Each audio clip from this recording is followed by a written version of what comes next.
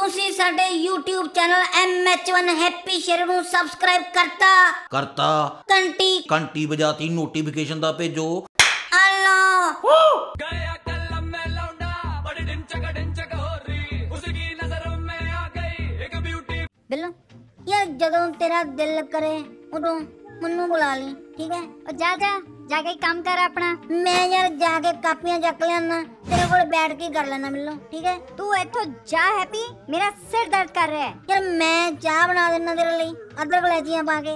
Happy, ਮੈਂ ਸੌਣ ਲੱਗੀ ਹਾਂ ਬਸ। ਤੂੰ ਸੌਂ ਜਾ, ਮੈਂ ਟੀਵੀ ਮਿਊਟ ਕਰਕੇ ਦੇਖ ਲੈਣਾ ਓਹੋ, ਹੈਪੀ, ਮੈਨੂੰ ਇਹਦਾ ਨੀਂਦ ਨਹੀਂ ਆਣੀ ਤੂੰ ਜਾ ਇੱਥੋਂ। ਯਾਰ ਧੱਕੇ ਕਿਉਂ ਮਾਰਦੀ ਆ?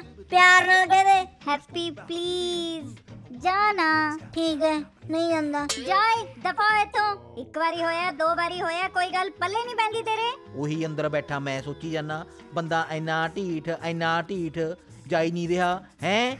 ਯਾਰ ਤੂੰ ਅੰਦਰ ਕੀ ਕਰ ਰਿਹਾ ਸੀ ਸ਼ੇਰੂ ਮੈਂ ਭਾਜੀ ਲੁੱਡੋ ਖੇਡਣ ਆਇਆ ਸੀ।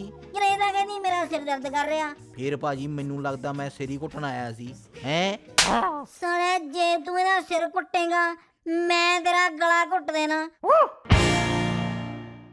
ਥੈਂਕਸ ਫॉर ਵਾਚਿੰਗ ਇਸ ਵੀਡੀਓ ਨੂੰ ਲਾਈਕ ਕਰੋ ਸ਼ੇਅਰ ਕਰੋ ਤੇ ਕਮੈਂਟ ਕਰਨਾ ਨਾ ਭੁੱਲਿਓ, ਹੈ?